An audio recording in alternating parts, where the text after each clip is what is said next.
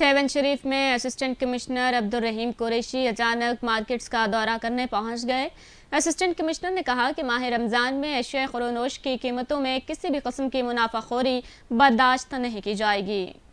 Seven Sharif में assistant commissioner Sehwan Abdul Rahim Qureshi ने अचानक भान सईदाबाद शहर पहुंचकर मार्केट में मौजूद मुख्तलिफ़ दुकानों का दौरा करके फ्रूट, सब्ज़ी, मछली, मुर्गी के गोश्त समेत दीगर स्टॉल्स पर रेट्स मालूम किए और शहरियों से भी रेट के मुतालिक मालूम हासिल की। इस मौका पर मुख्तसर गुफ्तु करते हुए असिस्टेंट कमिश्नर सेवन अब्दुल रहीम कुरैशी ने कहा कि रमज़ान मुबारक के बाबरकत महीने में घरेलू एशिया खुदोनोश की कीमतों पर कंट्रोल करने के लिए सरकारी रेट लिस्ट रोज़ाना की बुनियाद पर अपडेट की जा रही है। ताकि मुसलमानों को इस्लाम रिपीट ताकि मुसलमानों को इस रमज़ान मुबारक में रिलीफ फरहम किया जा सके, जबकि तमाम दुकानदारों से शहरी सरकारी रेट लिस्ट के मुताबिक अपनी ख़रीदारी करें और रेट लिस्ट के ख़िलाफ़ मुनाफाखोरी करने वाले दुकानदारों की शिकायत दर्ज करवाएँ, ताकि बर वक्त कार्रवाई अमल में लाई जा सके।